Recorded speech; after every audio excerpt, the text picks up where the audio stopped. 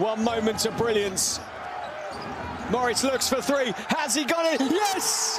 He Išplėšti pergalę. Jordanas Duffy pašokdina varžovus. Žemelas Morisas iš toli meta netiksliai pats atkovoja kamuolį.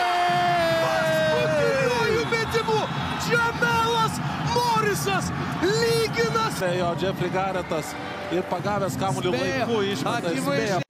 It's overtime, and if they make, they've won the game. They will not want to leave any time on the clock for.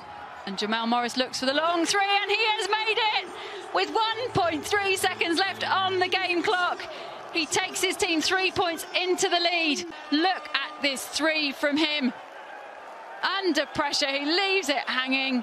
What a time to add to his tally.